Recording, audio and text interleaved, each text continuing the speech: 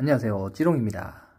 네, 오늘은 유튜브를 여러분들이 많이 시청하시는데 유튜브 품질을 좋게 시청하시는데 선택을 해 주셔야 하잖아요 보통. 제 유튜브 채널인데요. 설정한 상태로 시청을 할 수 있는 방법에 대해서 간단하게 알려드리겠습니다. 먼저 이렇게 한번 누르시고요. 오른쪽 위에 점 3개가 있잖아요.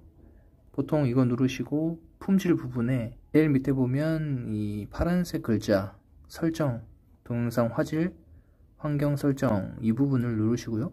모바일 네트워크에서도 높은 화질, 와이파이에서도 높은 화질 이렇게 누르시면 나중에 다시 설정을 계속해서 하지 않아도 네, 자동 적용이 돼서 설정이 됩니다. 점 3개 부분 누르시고 고급 네, 1080 P로 돼 있죠. 좀 더 편하게 유튜브 동영상을 시청할 수 있는 것 같습니다.